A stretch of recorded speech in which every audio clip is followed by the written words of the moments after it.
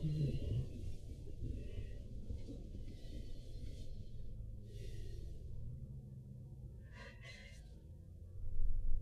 you having a affair? Hmm? Hmm? No. I'm not having an affair.